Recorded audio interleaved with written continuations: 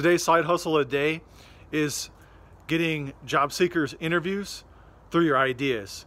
So essentially what you do is you get really good at analyzing companies, analyzing um, ideas that might appeal to them, and then you give those ideas to job seekers who in turn basically pay you uh, for those ideas that they can send to the company to generate interviews. Uh, it's a pretty cool idea. You can definitely make some money doing it. Let me know what you think.